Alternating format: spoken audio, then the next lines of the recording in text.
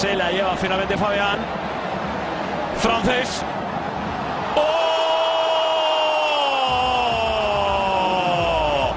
¡Maravilla Francés! Pau se la vuelve a comer con ese balón que ha sorprendido para el tercer gol Betis.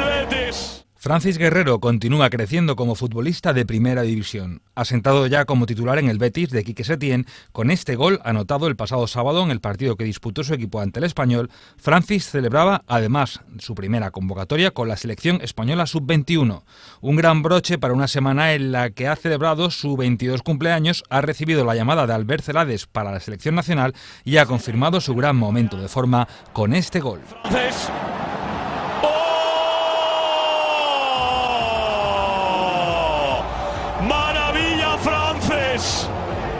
Una ilusión muy grande ¿no? de poder representar a, nuestro país, en este caso la, la selección sub-21 y bueno, junto a Fabián pues, pues ya te digo, una, un orgullo y una ilusión muy grande.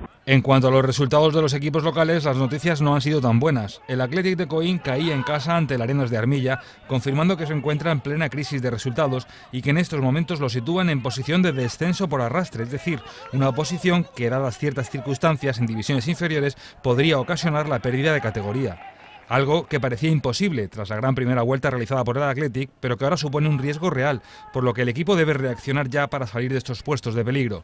La próxima jornada lo va a tener difícil en el siempre complicado campo del Atlético por cuna. También cayó el Deportivo Coín en su visita a la cancha del baloncesto Utrera por 75 a 65. Si bien esta derrota no tiene implicaciones importantes en la tabla, pues el Deportivo comanda este grupo de permanencia con suficiente ventaja sobre los puestos de descenso. El próximo sábado, nueva oportunidad para retomar la senda del triunfo desde las 5 y media de la tarde en el Polideportivo Municipal y ante el Betis Energía Plus.